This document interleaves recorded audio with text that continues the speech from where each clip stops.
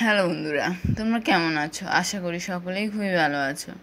বন্ধুরা, আজ আমরা যে বিষয়টি নিয়ে আলোচনা করব সেটা হলো আমাদের ক্লাস সেভেনের পনেরো সপ্তাহের অ্যাসাইনমেন্ট তার মধ্যে একটা হলো যে বিজ্ঞান এবং আরেকটা হলো যে কর্ম জীবনমুখী শিক্ষা। তো আজ আমরা বিজ্ঞানেরটা দেখব। তো প্রথমে আমরা বিজ্ঞানের প্রশ্ন দেখে আসি। তো বিজ্ঞানের আমাদের অ্যাসাইনমেন্টটা হলো যে আমাদের নির্ধারিত কাজ চার এবং এটা আমাদের করা হয়েছে পদার্থের গঠন অর্থাৎ ষষ্ঠ অধ্যায় থেকে তো পাঠ্যসূচিতে অন্তর্ভুক্ত পাঠ নম্বর ও বিষয়বস্তু, অর্থাৎ তোমরা পাঠ এক থেকে পাঠ এগারো পর্যন্ত দেখলে অর্থাৎ এগুলো থেকেই তোমরা এই প্রশ্নের উত্তর বের করতে পারবে। তাহলে চল আমরা প্রশ্নটা দেখে আসি।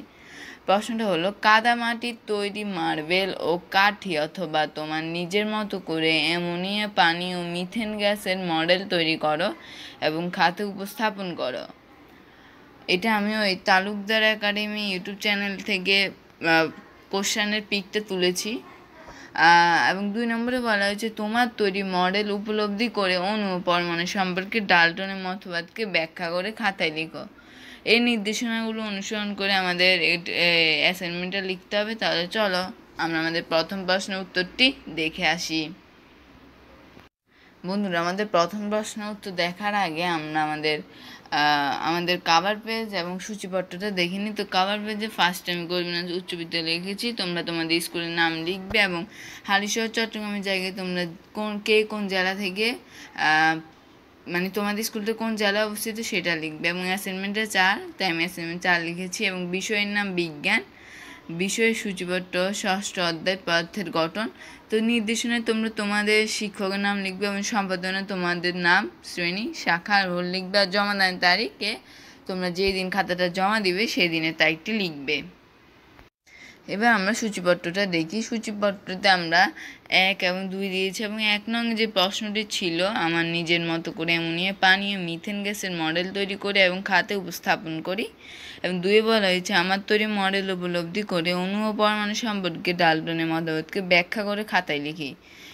এক এক নং লিখতে আমার এক থেকে তিন পেজ লেগেছে, তোমাদের যত পেজ লাগবে তা তোমরা এখানে লিখে দেবে। দুই লিখতে আমার লেগেছে চার থেকে পাঁচ আর তোমাদের যত লাগবে তোমরা তত লিখে নেবে।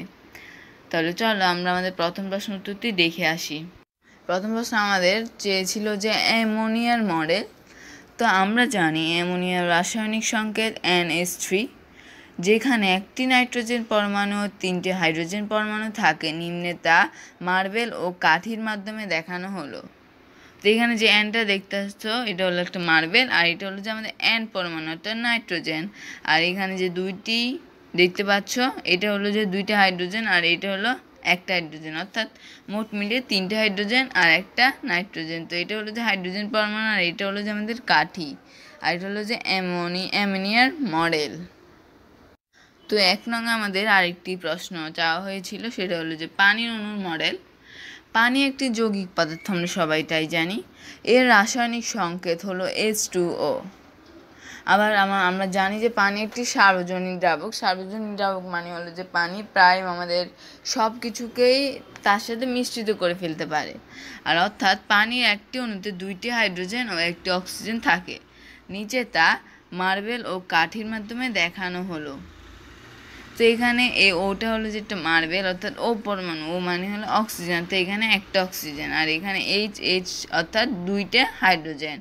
এটা হলো যে পানির মডেল। এবার আমরা মিথেন গ্যাসের অণুর মডেলটি দেখি।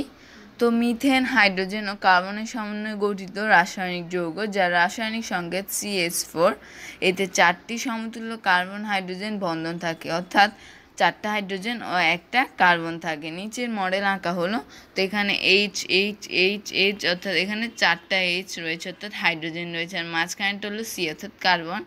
এটাকে মিথেন এটা এবার আমরা দুই নং প্রশ্ন উত্তরটি দেখে আসি।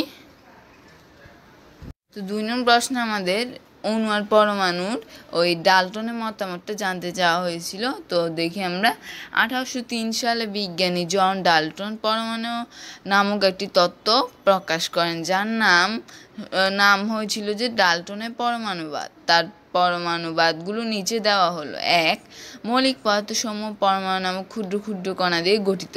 একটি মৌলিক পদার্থের সকল পরমাণু একই রকম। একটি মৌলের সকল পরমাণুর আকার, বর ও রাসায়নিক ধর্ম একই। একটি মৌলের পরমাণুসমূহ অপর মৌলের পরমাণুসমূহ হতে ভিন্ন রকম। অর্থাৎ ভিন্ন ভিন্ন। মৌলের পরমাণুর আকার, বর ও ধর্ম ভিন্ন ভিন্ন। চার যৌগিক পদার্থসমূহ একের অধিক মৌলিক পদার্থ দিয়ে গঠিত বিভিন্ন মৌলের পরমাণুসমূহ স- সর অনুপাতে যুক্ত হয়ে যৌগিক পদার্থ বা যৌগ তৈরি করে। একটি রাসায়নিক বিক্রিয়ার পরমাণু সময়ের সৃষ্টি বা ধ্বংস হয় না, শুধু একে অপর থেকে আলাদা হয়। তো আমি আগেই বলে রাখি বিভিন্ন বিজ্ঞানীদের পরমাণুবাদগুলো মানে পরমাণু যে বিভিন্ন তথ্য দিয়ে থাকে কিংবা তাদের বিভিন্ন তত্ত্বগুলো চেঞ্জ করা যায় না, অর্থাৎ তারা যেটা বলেছে সেটাই লিখতে হবে। এখানে তোমরা চেঞ্জ করলে নাম্বার পাবে না, কেননা তারা যেটা বলেছে সেটাই তোমাদের লিখতে হবে। তো বন্ধুরা, আমাদের ভিডিও এই পর্যন্ত। যদি তোমাদের কাছে আমার ভিডিওটি ভালো লেগে থাকে, তাহলে অবশ্যই লাইক কমেন্ট শেয়ার এবং সাবস্ক্রাইব করে পাশে থাকবে। যাতে আমার চ্যানেলে নিয়মিত আপলোড করা ভিডিও তোমরা পেয়ে যাও। আর এরকম অ্যাসাইনমেন্টের অ্যান্সার যদি তোমরা চাও, তাহলে অবশ্যই কমেন্ট বক্সে জানাবে। আর অ্যাসাইনমেন্টের অ্যান্সার পেতে অবশ্যই আমার চ্যানেলটি সাবস্ক্রাইব করে রাখবে। আসসালামু আলাইকুম। আল্লাহ হাফিজ গাইস